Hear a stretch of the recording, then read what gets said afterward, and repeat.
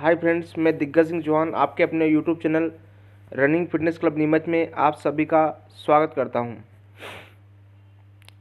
M P police दो हज़ार बाईस जिन जिन बच्चों की एग्ज़ाम हो चुकी है और 18 फरवरी 2022 को एम पी पी बी द्वारा एम पी पी बी द्वारा आंसर की अपलोडेड कर दी गई है उसकी साइड में। आप आंसर की किसे चेक करते हैं वो मैं बता सकता हूँ आपको। कि आप इस प्रकार से गूगल पर जाइए और M P P E B search मारिए। सर्च मारने के बाद आपका M P P B open हो रहा है। M P P B open होती ही सबसे फ़र्स्ट फ़र्स्ट में आपके पास प्रोफेशनल एग्जामिनेशन बोर्ड लिखा हुआ आएगा। यहाँ पर आपको ये इसमें pre exam result 2021 final result, search test admit card ये सब लिखा हुआ है। आप इस पर जाके प्रोफेशनल एग्जामिनेशन बोर्ड पर जाके क्लिक करना। ये आपका साइड ओपन हो रहा है धीरे धीरे ये एम की साइड पर हम जा चुके हैं और प्रोफेशनल एग्जामिनेशन बोर्ड, चयन मुख्य मार्ग, चिराग, उद्यान, पूर्व भोपाल, ये है। और आप हिंदी मोड या इंग्लिश मोड दोनों में जा सकते हो। आप जो सुटेबल लगे, इंग्लिश मोड में जाना चाहता हूँ मैं अभी। ये इंग्लिश मोड में मैं जाके चला गया।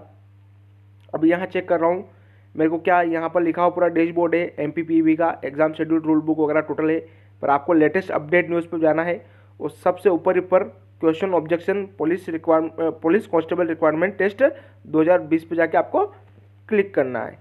क्लिक करने के बाद आपको यहाँ पर आ जाएगा ऑनलाइन एग्जामिनेशन ऑब्जेक्शन या कैंडिडेट रिस्पॉन्स सीट 2020 या 21 2021 रिक्वायरमेंट टेस्ट अब यहाँ पे लिखा हुआ फ़र्स्ट ही फ़र्स्ट में पुलिस कॉन्स्टेबल रिक्वायरमेंट टेस्ट, इस पर आपको जाके क्लिक करना है।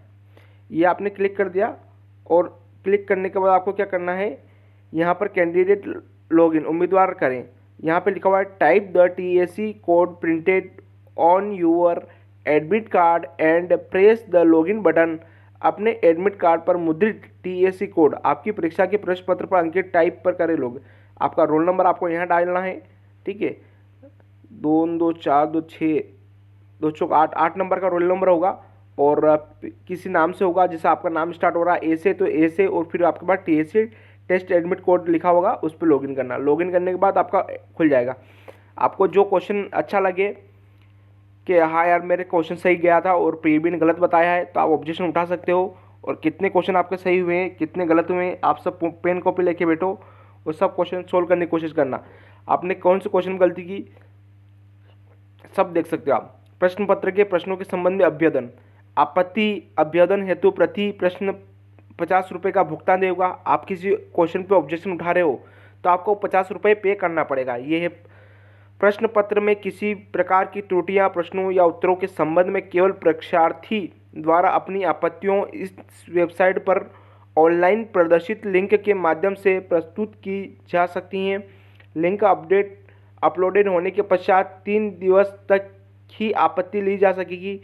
उसके उपरांत लिंक निष्क्रिय हो जाएगी। तीन दिन के अंदर आपको देना ही देना आपत्ति। इसमें ना पीबी द्वारा प्रश्न पत्र में त्रुटिपूर्ण प्रश्नों के साथ साथ परीक्षार्थियों से प्राप्त ऑनलाइन अभ्यर्थन पर विचार उपरांत मूल्यांकन हेतु अं-, अंतिम की अंतिम उत्तर तैयार की जाएगी। अंतिम उत्तर के संबंध में प्रोफेशनल एग्जामिनेशन बोर्ड द्वारा लिया गया। Note in case you any please send mail.